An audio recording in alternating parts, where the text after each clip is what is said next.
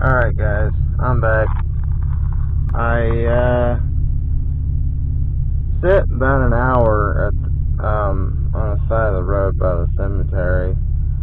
Um I didn't I uh didn't really pause. I had to edit a lot of the video um due to the fact that uh it was dark and uh, the wind's blowing, so I couldn't get any any sort of yelling or screaming or anything like that from the ghost. So uh, I will tell you this though, when you're driving at night like it is, it's uh, probably 11 o'clock at night, and it says October 3rd, 2018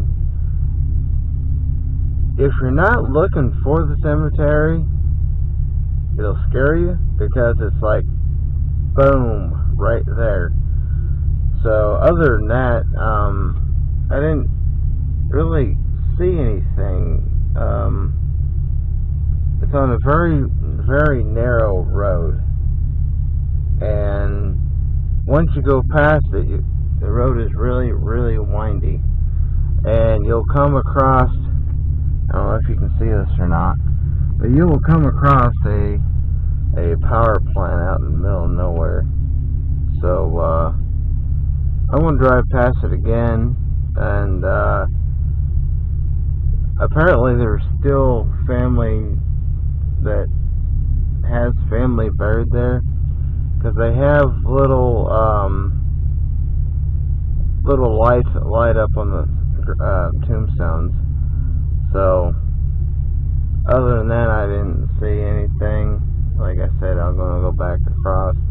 There is a little bridge just past, shortly past the uh, cemetery, and my vehicle didn't die. So, other than that, if you do hear a little windy noise, it's from my uh, my roof rack on my truck because I got the sunroof open.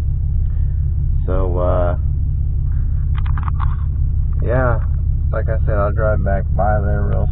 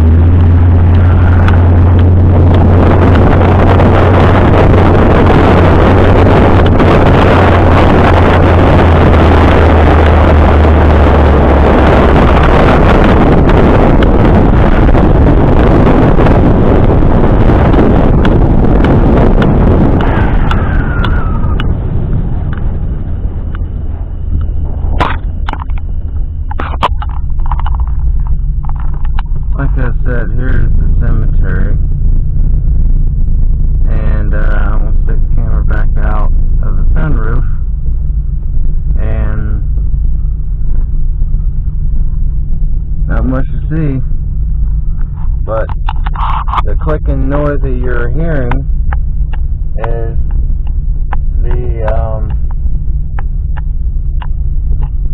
is the um, plug-in for the camera on my phone or for my for my phone, but uh, I'm recording on a new camera, so I'm already at the stop sign that you turn off at 400. So there wasn't much to see.